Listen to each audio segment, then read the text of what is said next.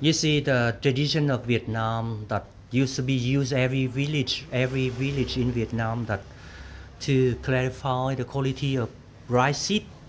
After drying from rice paddy field, they the farmer collected rice, huge amount of rice, but then they have to put in here the seed. Yeah. And you know, this is to clarify with good quality in here.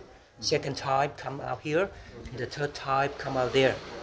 For fire or something like that. Second type for the uh, animals eating, making flowers, and then this is for cooking to human being. But how to make that? Let's say there is one farmer here, will just one, make this one moving around to get winds or come out there. Yes. So the the volume to adjust the amount of rice to come down here, and then good quality will stay into this one out, second one, the third one. This is the method of uh, getting clarify of the rice to cook in Vietnam. Yes.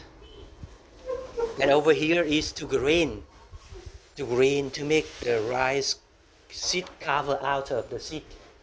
Yeah, they just put in here and then this one, yeah, the cover would be come out. Yes.